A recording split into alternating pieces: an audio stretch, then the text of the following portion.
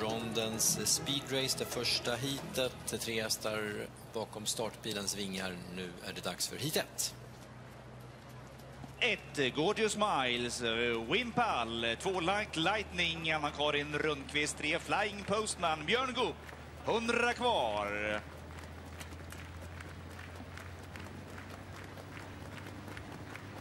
De är iväg. Invändigt ett Gorgeous Miles som ser ut att ta hand om ledningen. Två Like Lighting på utsidan. Längre ut banan tre Flying Postman. Tre hästar beredd in i svängen. Invändigt ett Gorgeous Miles. Två Like Lighting på utsidan. Galopperar gör då tre Flying Postman. Två ekipage som gör upp om slutsegern. De är här i utgången av slutsvängen. Ett Gorgeous Miles utvändigt. Två Like Lightning.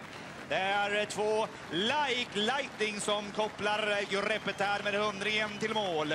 Lämnar ett Gorgeous Miles någon längd bakom.